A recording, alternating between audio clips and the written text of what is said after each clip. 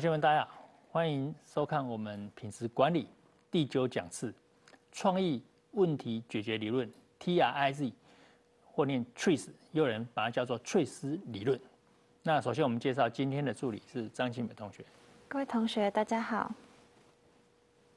好的，那接下来我们来介绍我们今天的主要的学习的单元目标，包含了 TRIZ 的简介，还有三十九项工程参数，以及矛盾矩阵，还有创新发明原则，以及呢以 cheap TRIZ 为基的这个服务创新原则。那么本单元的摘要内容呢？那么研发呢，哦所常面临的问题呢，是当这个试图要改善一项产品或是一个工程特性的时候呢，却导致了另外一个工程的这个特性或产品的一个恶化。那传统的方法是用妥协。哦，或者是取舍 （trade off） 的方式呢来处理，而 trace 呢则是利用消除的这个方法。那 trace 归纳啊，经常遇到了这个矛盾技术上的这些相关的工程参数，共总共啊有三十九项，由这三十九项的工程参数之间的矛盾，建立了一个三十九乘三十九的矛盾矩阵，以供研发人员呢在查核其这个发明工作所面临的矛盾元素。那此外呢，Trace 也提供四十项创新的发明原则，并且将这些原则对应到它的矩阵的矛盾元素当中，那么以帮助研发人员来找到解决技术矛盾的一个适用法则。最后呢，我们单元会介绍 Trace 用在这个非技术或管理领域的一些应用，哦，并提供以 Trace 为基的这个四十项这个服务创新原则。接下来我们来谈第一第一个我们今天的单元目标 Trace 简介。那确实呢是阿索勒在这个任职前哦，苏联海军专利局那么担任专利审核员期间呢，在这个执行专利的这审核作业中所建立的一个发明理论。他察觉到任何哦一个技术系统的创新过程都有一定的一个原则，因此他开始从二十万件的这个专利中啊着手进行研究，企图啊从中找到最具创意的创。的这些呃专利中，来找到一些基本的一些原理原则或者是逻辑。那他发现呢，每一个具有创意的这个专利，基本上都在解决创意性的问题，而这些创意性的问题，通常伴随着需求的一个冲突的一个问题。那也就是所谓的一个矛盾的一个需求问题。那么此外呢，呃，他也发现了这个解决这些冲突的基本的这个解法呢，一再被应用了。那么他就依据来推论，哈。那么，如果后来的发明家能够早期的解决解决方案上的知识能够拥有的话，那么他们在未来的这个创新发明工作上就会更为容易。因此呢，他就开始着手类似相关知识的萃取啊、组织啊，还有他们的这个编辑群。那么阿苏勒在跟他的弟子五十多年的努力之下呢，研发出了 Trace 理论。那这套这个理论技术呢，包含了创新的问题定义以及这个确认。还有它的创新规则，以及呢一套解决创新问题的一个工具箱和庞大的这个知识资料库。那接下来我们谈谈今天第二个我们的这个学习单元目标，就是有关于三十九项的工程参数。那么当这个研发所面临的问题是要试图改善一个产品跟另外一个工程特性的时候呢，却导致了另外一个产品或工程特性的恶化。传统方法为了 trade off 的方式来处理，而 trade 它是用消除的方式方式哈。那阿苏勒呢，分析归纳经常遇到的这些矛盾的一个技术问题，那总共三十九个这个工程参数项。那在这三十九个工程参数当中呢，哦，必须要先定义出哦这些所谓的固定件、移动件，那么才能针对这三十九个这个项目呢进行问题的一个描述。那么在表八点一课本表单里也提供了这三十九个工程参数的一个说明跟解释啊，由这三十九项工程参数之间的矛盾呢，可以建立出一个三十九乘三十九的一个矛盾矩阵，以供研发人员啊来查核他的发明工作所面临的一些矛盾的元素。那这三十九个工程参数呢，啊，我们请助理呢来帮我们叙述一下。移动键，在任何情况下易于改变的物体；固定键，在任何情况下均不改变的物体。移动键重量，移动键的重量；固定键重量，固定键的重量；移动键长度，移动键的长度；固定键长度，固定键的长度。移动键面积，移动键的面积；固定键面积，固定键的面积；移动键体积，移动键的体积；固定键体积，固定键的体积；速度，执行过程或行动所需之时间；力量，改变物体情况所需耗费之力。张力、压力，每单位面积所受之力；形状，外在的轮廓；子系统的稳定性，整体系统的稳定程度；强度，回应力量抵抗之程度；移动键耐久性，移动键的使用时效；固定键耐久性，固定键的使用时效。温度，整体热量变化状况；亮度，单位面积所产生的光线；移动键耗用的能量；移动件运作时所需消耗之能量；固定件耗用的能量；固定件运作时所需消耗的能量；动力，整体运作时所使用的能量；能量浪费。所使用的能源对整体运作无贡献。物质浪费，构成物质的损失。资讯遗失，本身资料的损失。时间浪费，操作所耗费的时间。物质数量，整体材料的数量。可靠度，预测执行时所能达到的程度。量测精确度，整体测量值接近实际值的精确度；制造精确度，制成品与规格的吻合程度；作用于子系统之有害因素；系统对外在有害因素的敏感性；有害副作用，运作所生产的有害效应而降低效能；易制造性。制造该物体的容易程度、使用方便性、操作过程中所需耗费的人事物、可修复性，修复是最佳状况、适应性，承受外在环境改变的性质、装置复杂性、内部构造间的关联性、控制复杂性。在操作上的顺畅度、自动化程度、自我执行的能力、生产力、每单位时间所能完成之功能或作业数量。好的，那么接下来我们来进行我们今天学习单元三，也就是介绍这个矛盾矩阵。那因为另一方面呢，阿苏勒也借由这些专利中哦归纳出四十项创新发明原则。并且啊，将这些对应到矩阵中的矛盾的一个元素里头，以帮助研发人员找到解决哦即时矛盾的一个适用法则。使用矛盾矩阵的时候呢，要先从矩阵的纵轴来找出欲改善的参数，接着再从矩阵中的横轴来找出避免恶化的参数。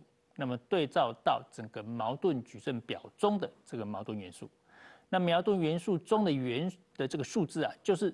这个矛盾矩阵哦表里面建议解决此矛盾的一个哦建议的一个创新发明原则。此表啊，在我们课本八点二里面有列出来。那受于整个受限于整个篇幅啊，哦，那么我们只有列出简表啊，因为整个三十九乘三十九的这这个表实在是很大。那我们来看一下这张表哈，那么我们来举例看一下哈，纵轴就预改善的参数，像第一点哦，它是这个移动件的重量哦，那它会相对应到避免恶化参数，就对应到有三十九个，那有的不适用就用 NA，那有了就会。这个有一个里面有一一组数字，那这组数数字里头啊，啊就是我们可以解决采用的一个创新发明原则。好比说，哦，像第一个预改善参数，第一个移动件重量。那如果我们移动件重量改善的话呢，通常会影响到移动件的长度。哦，那这中有矛盾怎么办呢？我们就可以考虑用原则第十五个、第八个。第二十九个、第三十四个，哦，来思考如何写、如何来处理一哦参数一跟参数三之间的矛盾，或者说呢，我们看哦预改善的参数，第一个移动件的重量哦跟生产力会不会有冲突呢？第三十九个生产力有没有冲突？哦，如果有的话，我们可以找里面其中哦这个解决的方法原则，就是第三十五、好第三、第二十四跟第三十七，依此来类推。那比较详细的表呢？哦，我们可以这个参阅相关其他 trees 方面的一个著作跟书籍。那接下来我们来介绍我们今天的单元学习第四个，就是介绍创新发明原则。那么在矛盾矩阵中啊，这个四十项的哦这个发明创新原则哦，那如我们表八点三所示，那它操作性定义呢，在表八点四里头。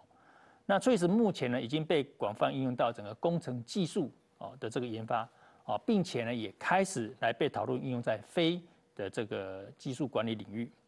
那有关于表八点三呢哦，我们请助理来帮我们说明一下。一、分割；二、抽出；三、局部特性；四、不对称；五。合并，六多面性，七潮状结构，八反重力，九预先的反作用，十预先动作，十一事先缓冲，十二等位性，十三反转，十四增加曲度。十五动态化，十六过与不及的动作，十七改变新维度，十八机械振动，十九周期性动作，二十连续的有用动作，二十一快速作用，二十二转害处为益处。二十三回馈，二十四中介物，二十五自助，二十六复制，二十七用后及器式，二十八取代机械系统，二十九气翼式结构，三十弹性遮罩或薄膜，三十一。多孔材料，三十二，改变颜色，三十三，同质化，三十四，丢弃与复原，三十五，特性的转换，三十六，相的转变，三十七，热膨胀，三十八，使用强氧化剂。三十九，惰性环境；四十，复合材料。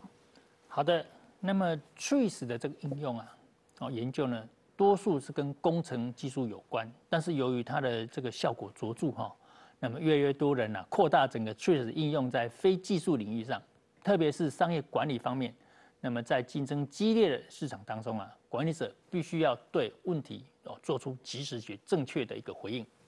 然而呢，管理者却无法哦这个在面临哦整个很大量而没有价格的资讯之下呢，他时间匮乏，没有办法按照他过去的这个直觉或经验来下决策。哦，所以呢，多位学者呢也应用了 TRIS 中的四十项的这些创新原则的观念来阐释它应该对应到的可能的这个解决商业或组织的这些应用原则，哦，并说明哦它的这个跟这个工程上不同的环境下适用的一个状况。那 TRIS 呢，在非技术领域的一个应用发展，包括了哦这个艺术创作，像是音乐哦，哦诗词、雕刻、绘画等等。那或者是像医疗、生物科技、哦教育、哦服务品质、哦财务应用、哦旅游服务、顾客满意度提升、哦这个商业组织与管理等等，甚至呢是政治上的这些相关的选举活动，也可以用 TRIS 来协助。那接下来我们介绍今天第五个这个单元学习目标，就是以 TRIS 为基的这个事实项的这个服务创新原则。那么在矛盾矩阵表中啊，各交叉的。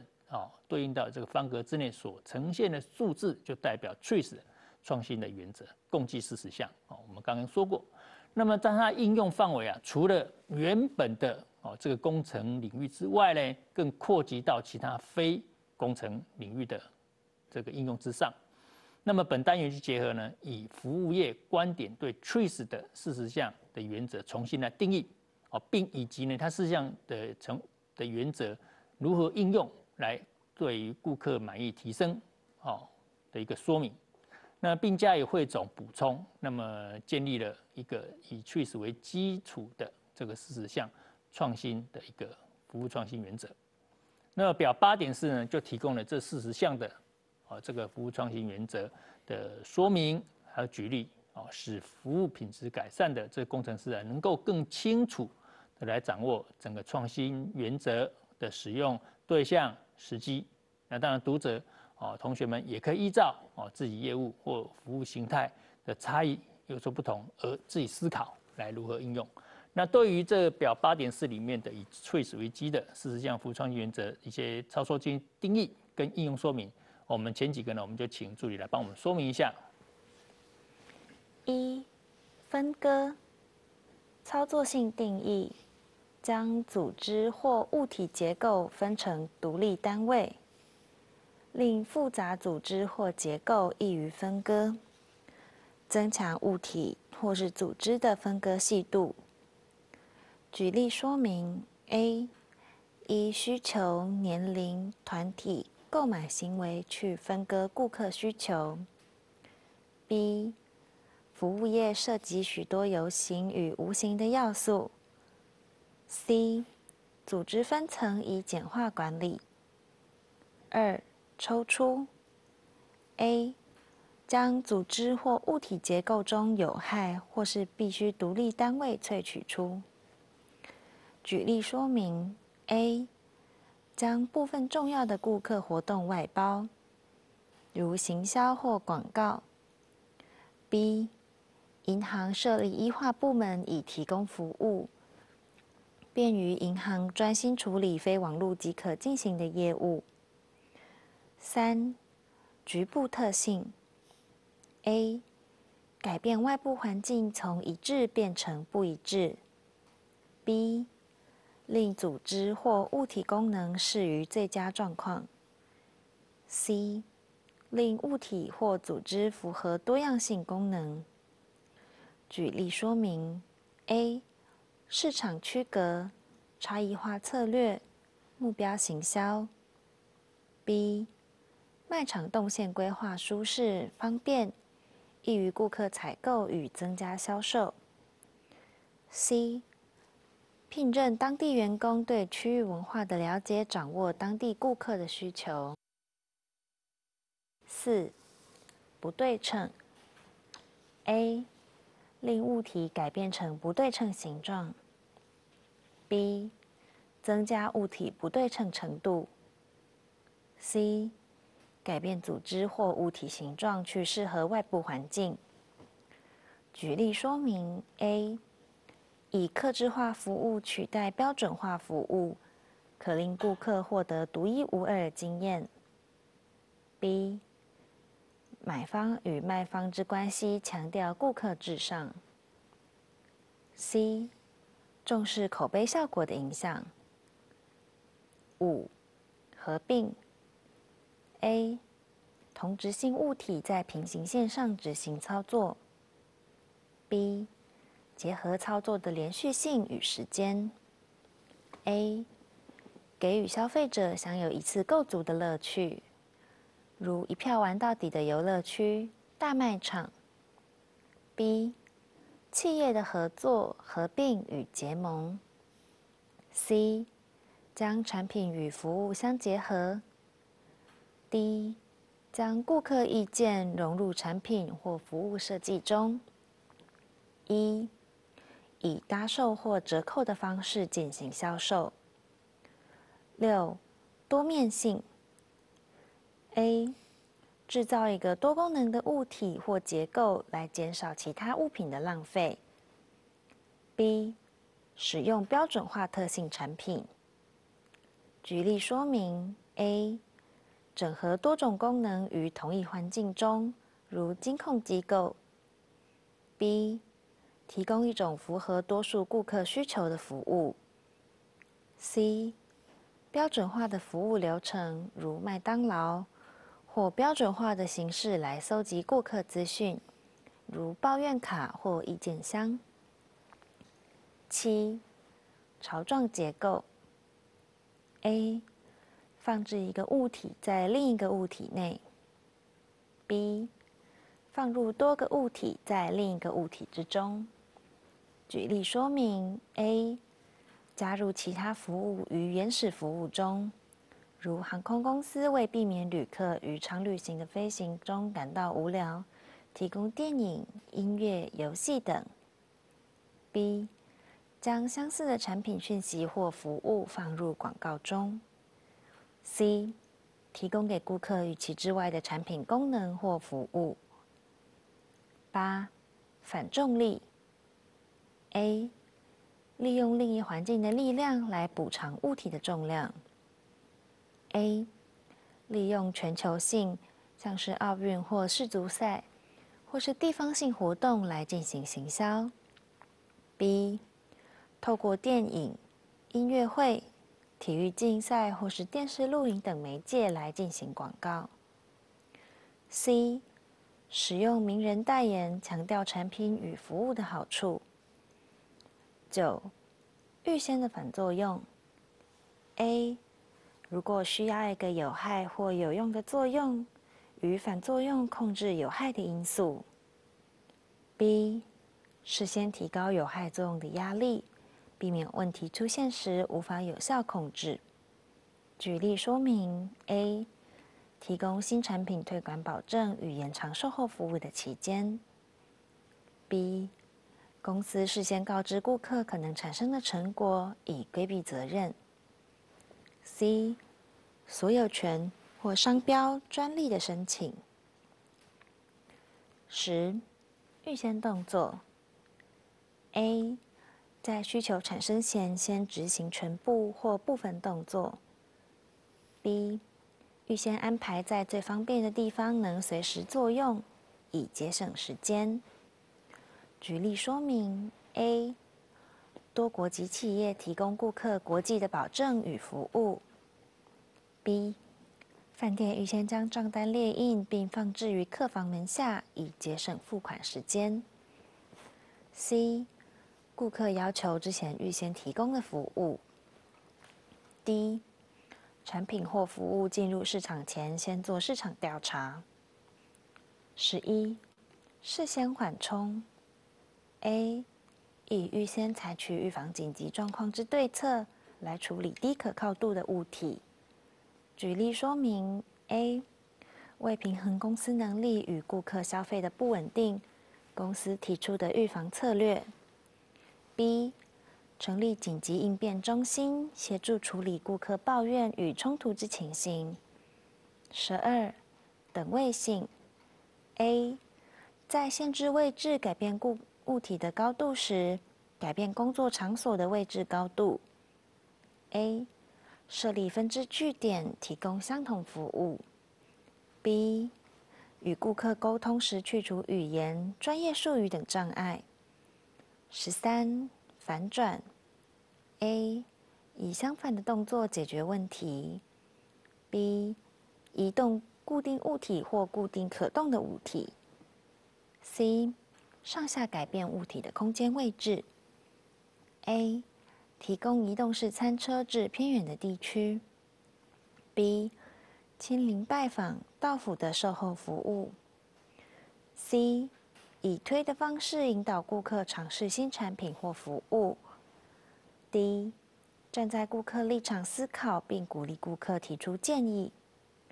十四，增加曲度。A. 以球状代替立方体，以曲线取代平面或直线物体。B. 利用滚轮、球体、螺旋体与圆柱体。C. 以旋转代替直线运动，利用离心力。举例说明：A.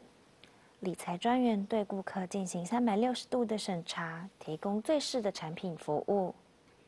B. 圆滑平顺的处理顾客抱怨。